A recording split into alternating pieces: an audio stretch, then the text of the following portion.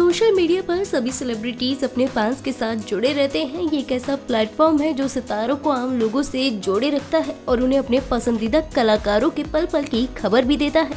मगर इन दिनों social media के फ़ायदे से ज़्यादा नुकसान नज़र आ रहे हैं। इनमें सबसे बड़ा नुकसान है social media trolling cyber bullying और हेरेसमेंट ऐसा ही कुछ हाल ही में Pandya Store fame actress Alice Kaushik के साथ भी नज़र आया, जो ट्रॉलर्स के हत्या चढ़ गई। दरअसल शो पांड्या स्टोर दर्शकों के बीच काफ़ी पॉपुलर है। इस शो का हर किरदार ऑडियंस को बेहद पसंद आता है। अब इस शो की एक एक्ट्रेस को काफ़ी ट्रॉलिंग का सामना करना पड़ रहा है।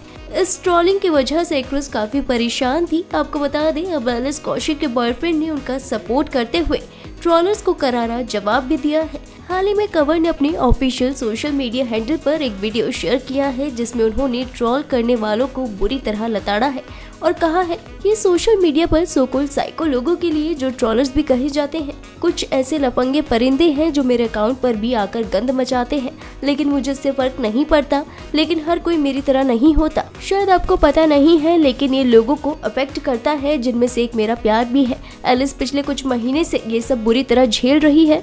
कुछ बेशरम लोग उनकी फैमिली और मेरे बारे में पर्सनल कमेंट करके उसे हैरेस कर रहे हैं।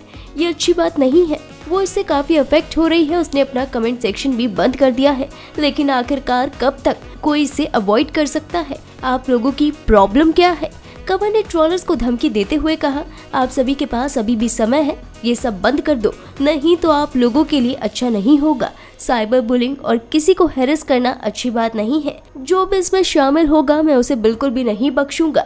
ये लोग मेरे फैंस नहीं बल्कि साइको ट्रॉलर्स हैं और ये एक सीरियस ऑफेंस भी है। वेल well, हमारे आज की इस रिपोर्ट में बस इतना ही। मैं शिका जैन पंजाब के इसरी दिल्ली से। अगर आप हमारी ये वीडियो फेसबुक पर देख रहे हैं तो हमारे फेसबुक पेज को लाइक कीजिए।